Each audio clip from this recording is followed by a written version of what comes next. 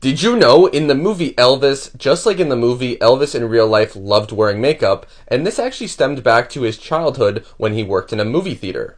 While working as an usher as a teenager, he would watch Tony Curtis movies and loved the makeup that he wore. Several years later, Elvis actually filmed the movie The Rat Race and he actually met Curtis and they became really good friends. Curtis taught him how to apply eyeliner and give him that smoky look. Since that moment, Elvis started incorporating the makeup more in his daily life as well as his shows. This is a pretty cool story.